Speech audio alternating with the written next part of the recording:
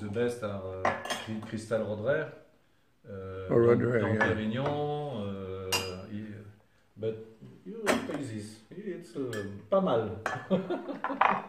Alors, les lunettes.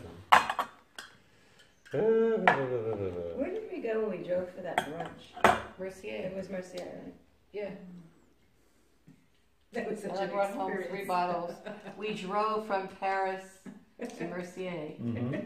To, to take her to lunch for her birthday. And I drove with Uh, with difficulty. around and around We and around. we did well on the roundabout. The roundabouts. I- this, the, the, this, this. And after Eric he say, what's better?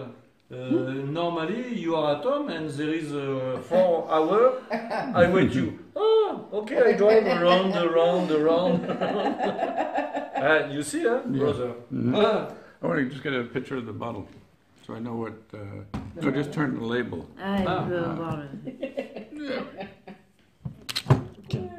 No, That's very, that's so upsetting. Huh? yes, but uh, Nothing impossible to to wine. to collect. how much was it? Did they go out of business? Four hundred thousand. Huh? The company in Italy.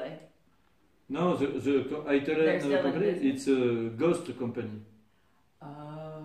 I find some man, but uh, th- th- this is a poor man. Mm. because I'm, I'm going in, in Italy with a lot of persons.